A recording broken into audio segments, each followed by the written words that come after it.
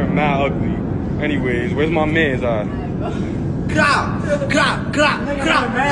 Imagine if Murda B was OY. Like that would be like a dope little collab right there. If she if she decided back in the day to be OY instead, if she dislike if she ain't diss Naughty but she diss somebody else, because the only female that's OY is like is that chick uh, Kia or something like that. Like OY don't really have like no female girl rappers who making noise. But anyway.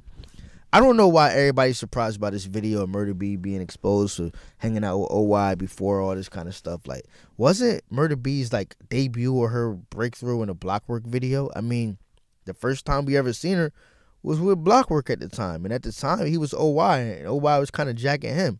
You feel me, man? It's crazy when it comes to everybody trying to expose Murda B and, and find different ways to bring her name up and all this kind of stuff because she kind of laying low. Somebody in the comments said, yo, like she ain't even go to school in the Bronx. How does she even know all these people? I ain't gonna hold you. I think Murda B planned from the start. She always wanted some kind of clout or to be entertainment in some kind of way. So she was always networking with dudes out here meeting people. Murda B is is lucky I'm not her manager because I'll be pushing the studio right now. Like everybody talking about you on Please Don't Lack after the tape drop, she's like reluctant to put out music, but her name is still in the media. People are still doing videos about her, still doing Instagram posts about her, still talking about her on Twitter, but she's refusing to put out music.